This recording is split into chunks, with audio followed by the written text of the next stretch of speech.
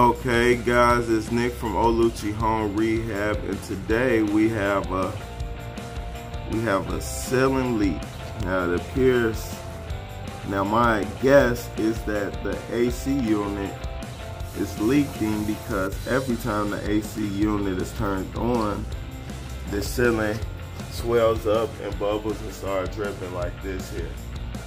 So what I did was um, uh, a whole an actual chunk fell out of the ceiling so I actually just cut it in a flat square and I'll see if we could get this leak fixed in this whole patch. You guys stay tuned. I'll be back with more info. Okay guys, so I spotted the leak. It appears that the vent is leaking condensation whatever way method they use to seal these two vents together, it wasn't the correct method. They used this sort of flashing tape. I'll zoom out so you guys can see. They put this sort of flashing tape on the vent and it isn't providing a waterproof barrier for the vent. So I'm gonna fix the problem and I'll check back in with you all. So this pan, this pan is really jacked up, man. I'm gonna get this pan out of here and replace this pan.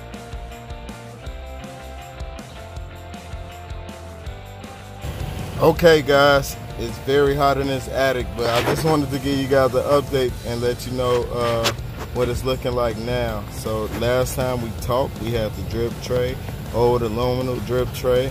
So what I did, I went to Home Depot, you know, one of one of uh, my favorite stores because there's it's always right somewhere close to you and have uh, the product that you need readily available. But uh, Home Depot didn't have a drip pan for me to replace for this AC unit. So I actually bought one off uh, Amazon and got it shipped. It came in one day. So I'm gonna show you guys the new install. Okay, this is the new drip pan. Shine some light on it for you guys.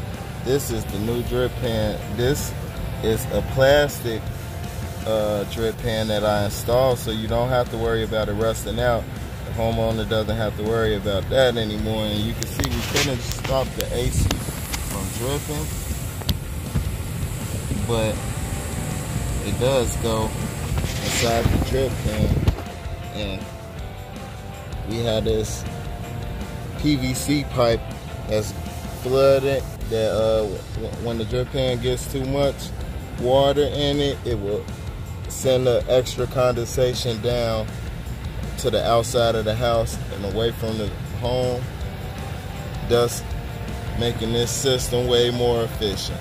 So you guys stay tuned and make sure you comment, like, and subscribe and I will be posting more videos. So I didn't show the actual install, but it was easy. I just lifted up this AC unit and I uh, put the I, I, I put the uh, drip pan under there and I went ahead and attached this 90 degree PVC elbow and cut.